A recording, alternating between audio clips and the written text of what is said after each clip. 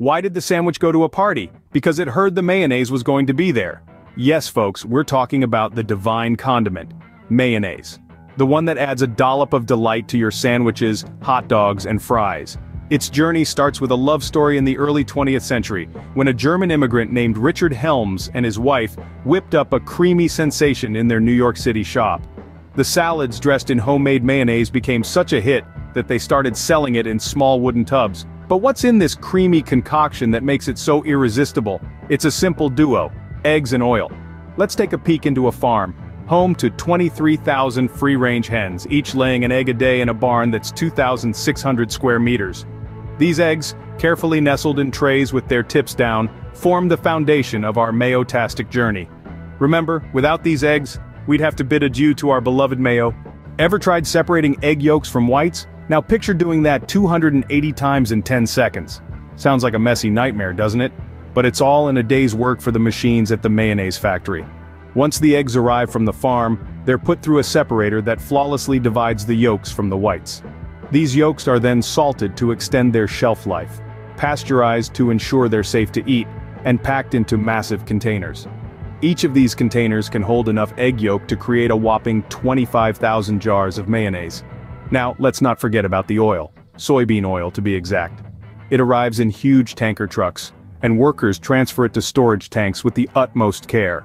At the same time these culinary alchemists are also weighing out the secret spice blends that will give the mayonnaise its unique flavor. So we've got the yolks, oil and secret spices all set, but wait, there's more to this mayo tale.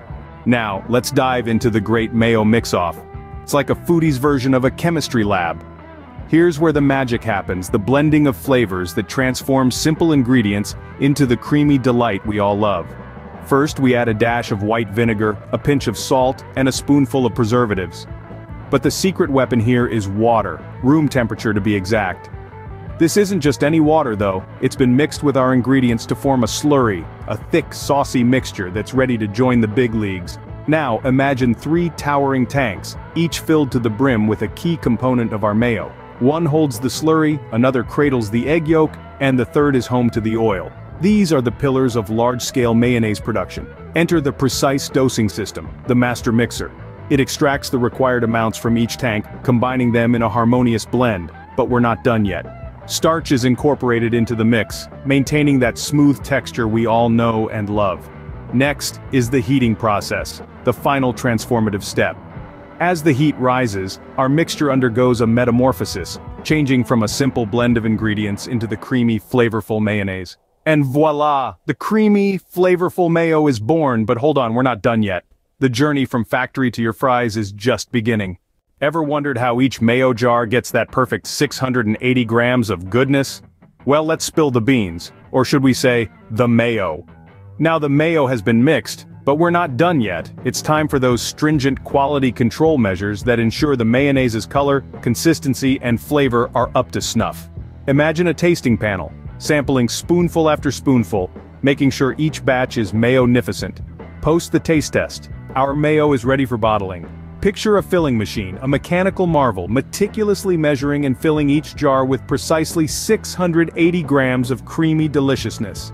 It's like a symphony of synchronization, a ballet of bottling, an opera of organization. But we can't just leave our mayo exposed to the elements, can we? So each jar is sealed with a metal screw cap, a knight's helmet for our mayo, preserving its freshness and integrity. Next comes the fashion show. Each jar gets adorned with a label, strutting down the factory line, looking chic and ready to grace your favorite dish. And what about those handy sachets of mayo you find at your favorite fast food joint?